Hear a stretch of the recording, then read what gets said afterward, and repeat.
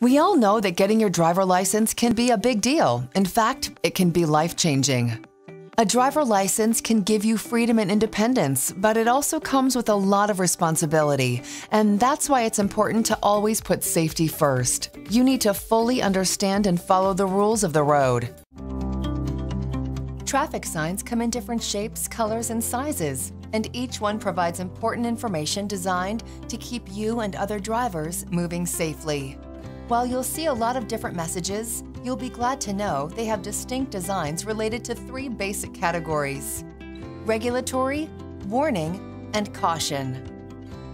Regulatory signs are usually white and red and are the ones that reinforce traffic laws. These are the ones you must obey. They'll show you how fast you can legally travel and when you need to stop if you're allowed to make a right turn, left turn, or U turn, and when you should not enter a street because traffic will be coming towards you, like a freeway off ramp or one way street.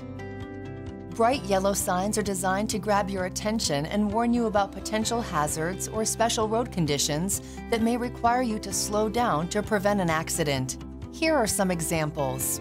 Wet or icy roads, merging traffic, pedestrian crosswalk, traffic signal light, sharp turn, curve, or crossroad.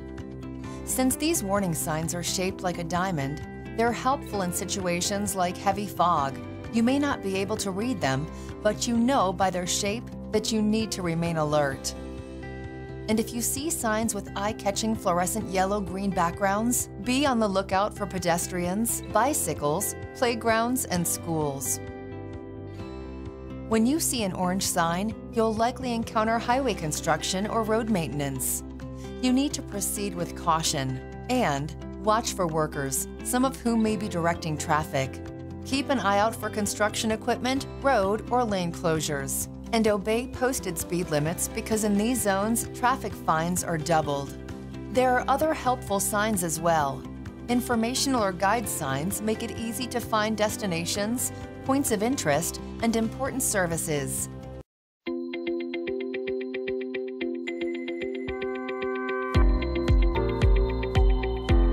You've buckled your seatbelt and you're ready to hit the road. But before pulling out into traffic, you need to understand the meaning of all those road markings.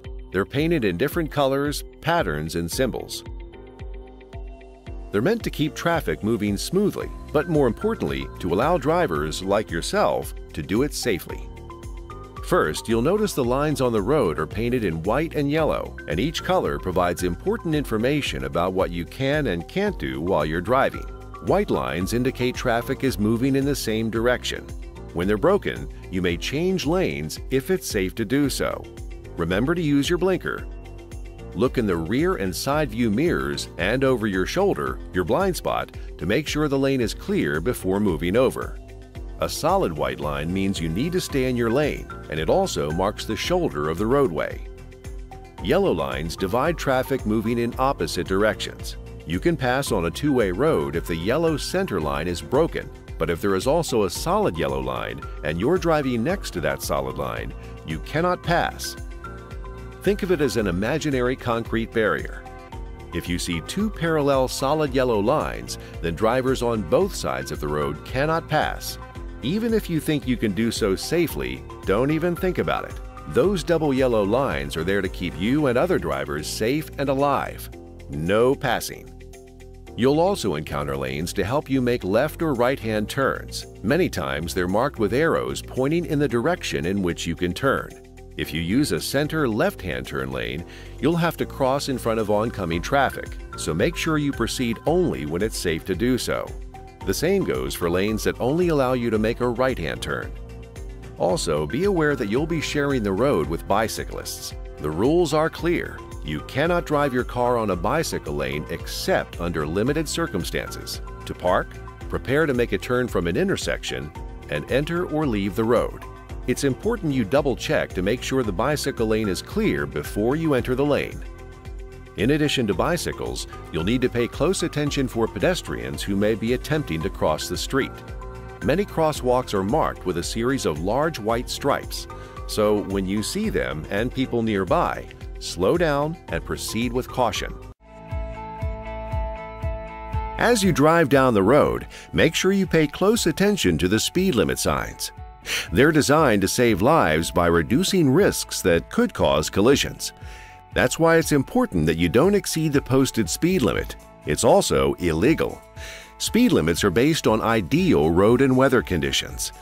You need to take into consideration the number and speed of other vehicles on the road, the type of road surface, is it smooth, rough, wet, or dry, and whether it's raining, foggy, snowing, windy, or dusty. Use common sense. If you approach a hazard, encounter heavy traffic, or bad weather conditions, slow down. This will improve your ability to take evasive action safely, but hopefully you won't find yourself in that situation. When road conditions are good, you should not drive much slower than the cars around you. Impeding the flow of traffic is unsafe, and doing so could get you a ticket. Remember, slower traffic should stay in the right lane so others can pass. One of the most common hazard areas on the road is an intersection because it's the spot where drivers cross paths. Whether you're an experienced or inexperienced driver, intersections can be confusing to maneuver. They come with traffic lights, stop signs, turning lanes, and a lot of other drivers who are focused on getting to their destination. The best way to safely maneuver through an intersection is to recognize the different types and understand the rules associated with them. Intersections are often described as controlled or uncontrolled. Controlled intersections are most common and refer to those that have stop signs or traffic signals. Uncontrolled intersections are found primarily in rural areas with little traffic and often have warning signs instead of traffic signals or stop signs. You should proceed slowly and carefully. Look for cars coming from other directions and use common sense when entering these intersections. A four-way intersection is generally controlled by a traffic signal or stop signs. If there's a traffic light, you can only drive through the intersection when the light is green. At intersections with stop signs, cars that reach the intersection first have the right of way. But if two cars arrive at the same time, the car on the left must yield to the right of way to the one on the right. In other words, the car on the right is allowed to proceed through the intersection first. If you approach an intersection with a flashing red signal light, it's the same as approaching a stop sign, and you need to follow the right of way rules. A T-junction is the spot where a street meets a major roadway. Cars on the street will usually encounter a stop sign, while those on the main roadway will continue driving because they have the right of way. If you're driving on the street and approach a major roadway, come to a complete stop and look in both directions to make sure you can safely pull out onto the road. A traffic circle or roundabout is used to control an intersection with the intent of keeping traffic moving. As you approach a roundabout, you must yield to oncoming traffic. Then turn right so you're traveling around the circle in a counterclockwise fashion. Turn right again to exit onto the road you are seeking. It's important not to stop while driving in a roundabout because pileups can happen quickly. You'll encounter turning lanes at intersections with lots of traffic. Most of the time, these lanes are designated for drivers who want to turn left, and they are generally controlled by a traffic light. Turning lanes are marked with a painted arrow on the pavement, and an arrow usually will appear on the traffic light. If you drive into a turning lane, you must follow through with the turn. You cannot drive straight.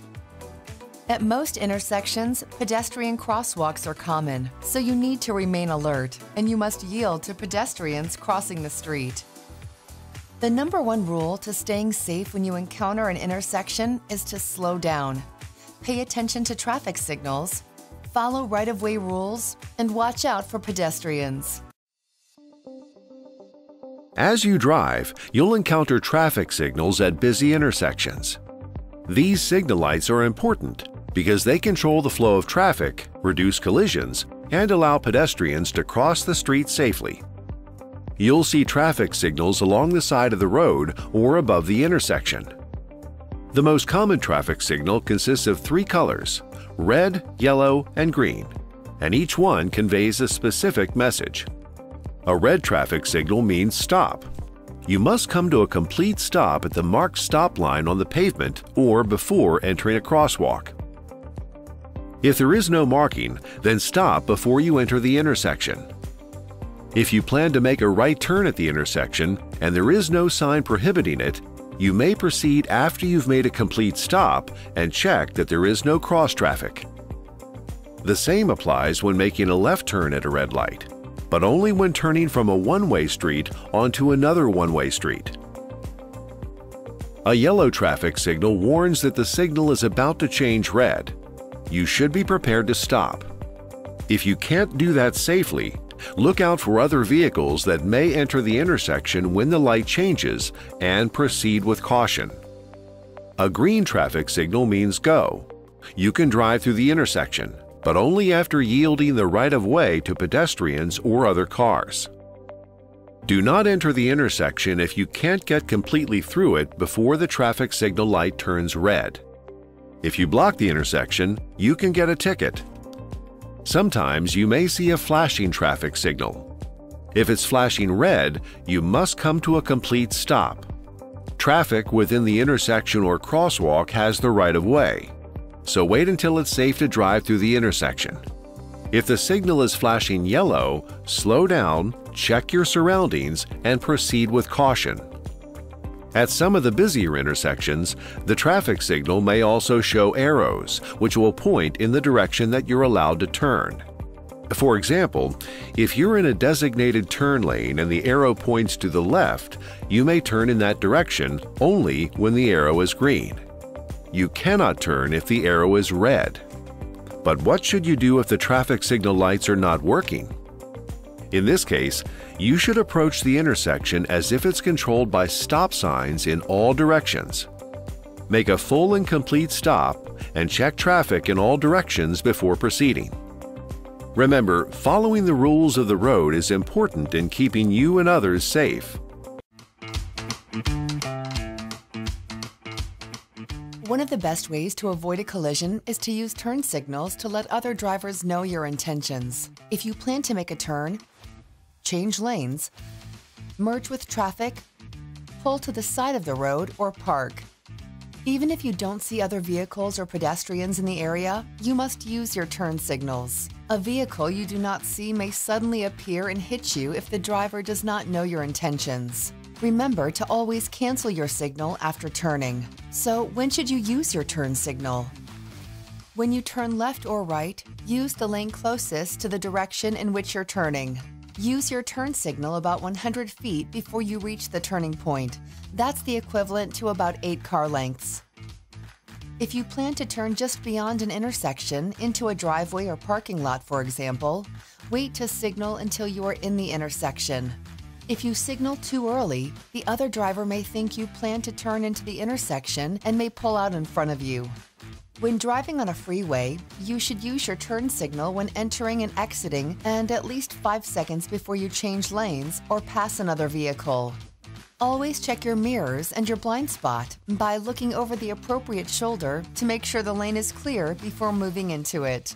If your signal lights are not working or bright sunlight makes them difficult to see, you should use hand and arm signals. When turning left, extend your arm straight outwards. When turning right, Bend your arm at the elbow with your hand pointing upward. To indicate you're going to stop, bend your arm at the elbow with your hand and forearm toward the ground. Your palm should be open and facing the vehicles behind you.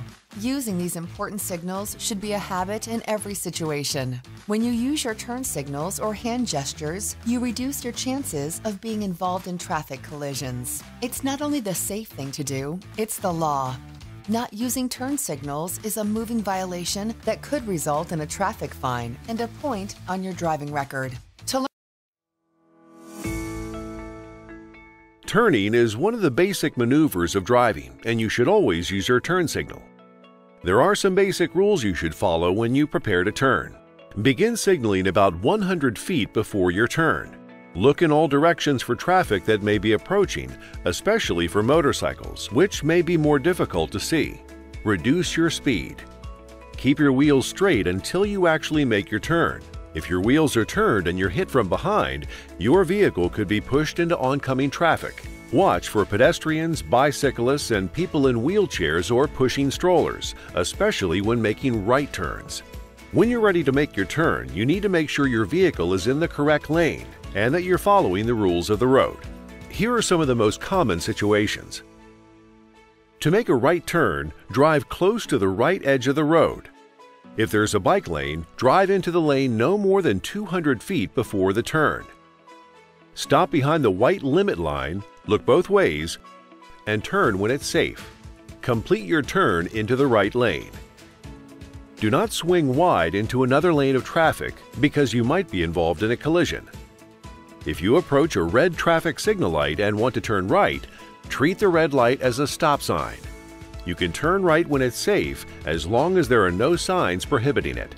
Left turns may be a bit more challenging since you will need to evaluate different types of road configurations. It's important that you don't turn your wheels too soon because you may turn into the lane of traffic coming toward you. If you're traveling on a two-way road and making a left turn onto another two-way road, drive close to the center divider line look over your left shoulder, and reduce your speed. Check for vehicles that are in the intersection or approaching it. When it's safe, make your turn and be sure to end your turn on the right side of the center divider line. If you're turning left from a one-way road onto another one-way road, keep in mind that you can proceed on a red light, as long as you treat it as a stop sign and proceed when it's safe. Approach the turn from the far left lane unless there are other designated turn lanes. End your turn in any lane that is safely open. At some intersections, arrows may be painted on the pavement to show designated turn lanes, and signal lights may be used to assist you with your protected turn. Do not turn right or left on a red arrow. A green arrow means it's safe to turn. Remember, you should still look in all directions and proceed with caution. You may also encounter center turn lanes. These are located in the middle of a two-way street and are marked on both sides with two painted lines. The inner one is broken, the outer one is solid. Look over your left shoulder to make sure the lane is clear before entering it, and be on the lookout for other vehicles coming toward you within the center lane. This lane is not a traffic or passing lane. You can only drive for 200 feet in the center lane. A U-turn is turning your vehicle around in the street to go back the way you came. To make a U-turn, signal and use the far left lane. Never make a U-turn where a no U-turn sign is posted, at or on a railroad crossing. Crossing two sets of double yellow lines, where you can't see clearly 200 feet in each direction. On a one-way street. In front of a fire station and never use a fire station driveway. In business districts, turn only at an intersection where openings are provided for turns unless a sign prohibits it. While you're driving, it's important that you stay alert and respect the right-of-way of others. What does that mean? Simply put, right-of-way rules determine who has the legal right to go first on the road. Remember, you're sharing the road with other drivers, pedestrians, bicycles, and motorcycle riders, and these rules help to promote traffic safety. Here are some of the most common situations. Pedestrians have the right of way when they're crossing the street, and it doesn't matter whether they're in a marked crosswalk or not. If you see a person getting ready to cross the street, or they've already stepped off the curb, you must stop. Keep in mind that if you see a car stopped ahead of you, don't attempt to drive around it because pedestrians may be crossing the street and you cannot see them. You should also give the right of way to emergency vehicles that have their emergency lights on. Pull to the right edge of the road and wait for them to pass. Make sure you check your mirrors and over your shoulder to make sure no other vehicles are coming before you merge back into traffic. It is illegal to pass a school bus that has stopped and its red lights are flashing. Children are likely getting off the bus and may attempt to cross the street. Therefore, you must wait until the red lights have stopped flashing before proceeding or passing. At intersections without stop or yield signs, slow down and be ready to stop.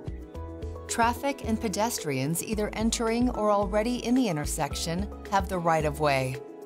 Also, you must yield to vehicles or bicycles that arrive first or are to the right of you if you both pull up at the same time. On steep mountain roads where neither vehicle can pass, the vehicle facing downhill must yield the right of way by backing up until the vehicle going uphill can pass. The reason is that the downhill facing vehicle has greater control when backing up. Even if you have the right of way, you should never assume that other drivers will yield, so you should use common sense. Be courteous and try to anticipate the other driver's actions before attempting to proceed first. When parking your car, you need to be aware of your surroundings. This means look out for other vehicles, bicycles, and pedestrians.